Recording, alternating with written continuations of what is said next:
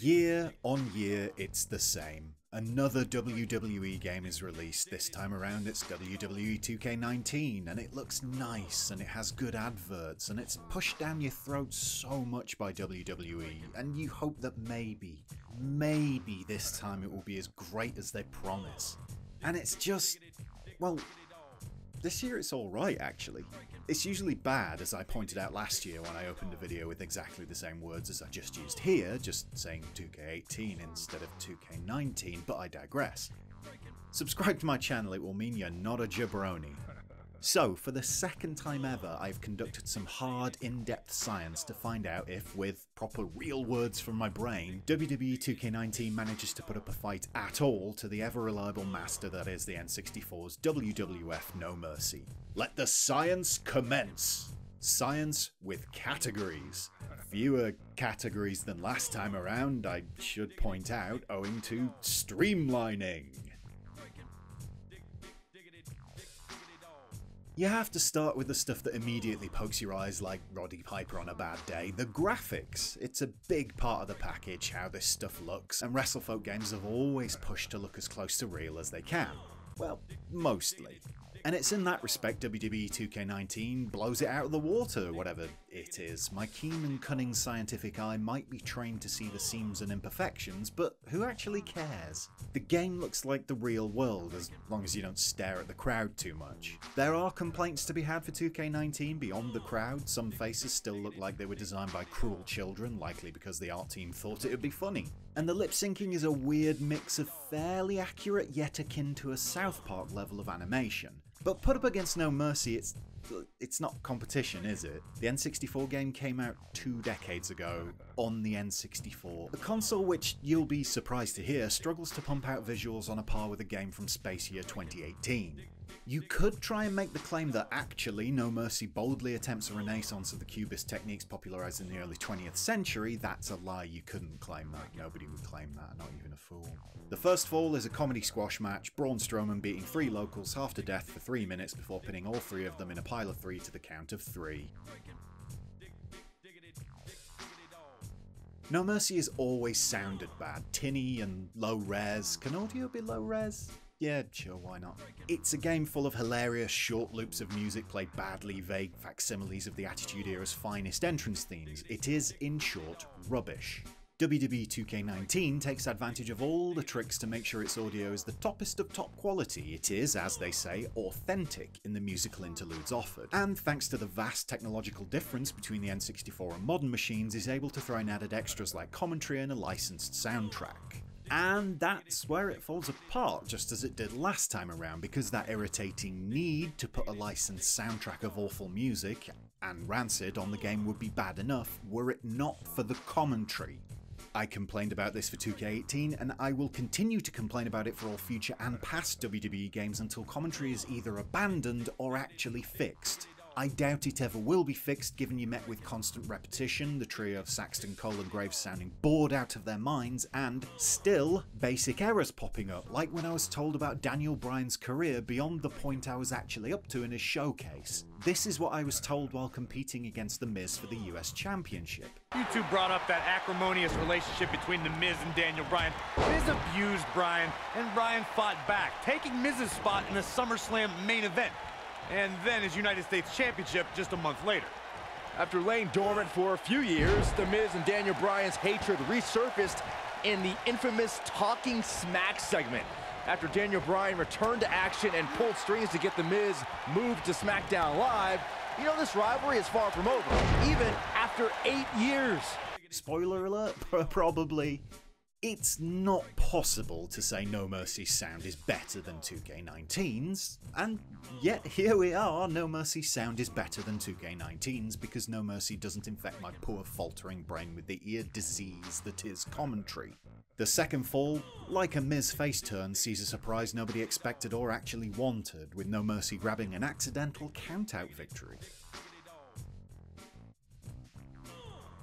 Oddly enough, there's been no change in No Mercy's roster since the last video. The 32MB cartridge still features a whopping 74 wrestlers and other talent, and I'm still embarrassed to say, ugh, divas out loud. You get Stone Cold and The Rock, Stephen Richardson placed at the Big Show, the all-time classic fan favourite, Ho, it's a good selection with enough variation on offer that nobody goes away empty handed, especially not Essa Rios fans. And, again, the ability to create your own wrestlers is still there. Strange how a game from almost 20 years ago hasn't changed in the past 12 plus months. Hmm, very odd. Anyway, I haven't made any new wrestlers literally because I can't be bothered, but I do still remember making a very accurate Rob Van Dam on my OG copy of the game approximately 300 billion years ago. It's limited, but there is scope within it. Yeah, WWE 2K19 wipes the floor with no mercy though. This time you've got 197 unique playable characters including DLC, 239 if you include the alternative visions like the plentiful Stings and Undertakers, and 252 if you bring in non-playable characters and the extras from the career mode. It's a hell of a lot of faces, but while a lot of them are legends, it does seem strange that there's no Essa Rios. Oh, also, there's a gold AJ Styles, but naturally I haven't unlocked him. So, a squash by 2K19 then, right? Well, hold your four horsemen a second there, Milado. There's always something with the roster in WWE games, something outdated or daft. I even mentioned one a second ago with the Big Show not being a part of No Mercy, and 2K19 is no different. A certain NXT champion at the time of recording is not in the game. At all. Nor will he ever be. Tommaso Ciampa, one half of Homebase's favourite tag team, just isn't in WWE 2K19. And that is absolutely ridiculous for him to not be present, for him to not be added in, for one of the champions of the company to not get a look in. I've heard all the excuses, but none of them fly straight for me. So he was injured when they were capturing faces and everything else. So what? Ciampa was in previous games. His likeness is there to be reused and updated, as has clearly been done with plenty of talent in the game. If someone can make their own version of him and put it up for download, he's the second most popular downloadable character behind Captain Pipebomb himself, then Yuke's and Visual Concepts can pull their collective finger out and sort this nonsense. If you can put the big boss man, Bobby Heenan, and Andre the Giant in the game, even though they're dead, but you can't put in a current reigning NXT champion, then, well, I, I don't even know what to say.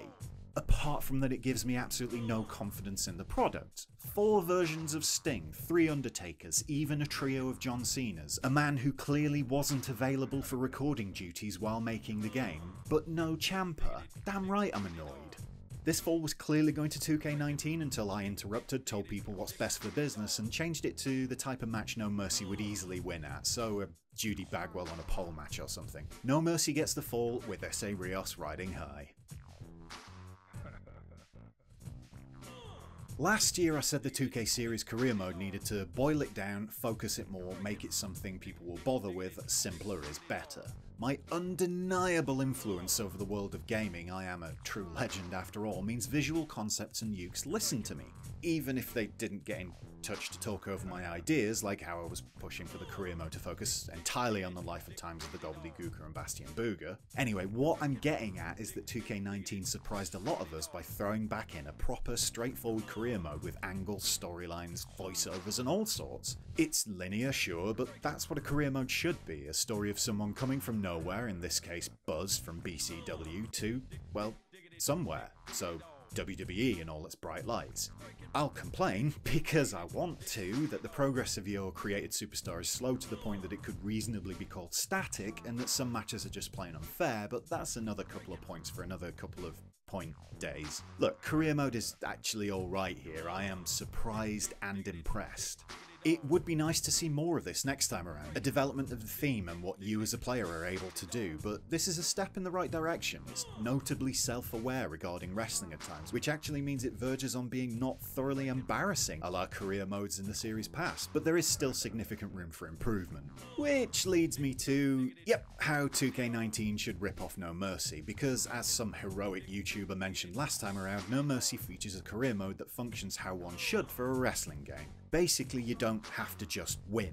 This creeps in at times in 2K19 with a few scripted endings to matches, which is cool, but I'd like to see a bigger nod in the N64's direction by allowing losses and having them not immediately end your progression.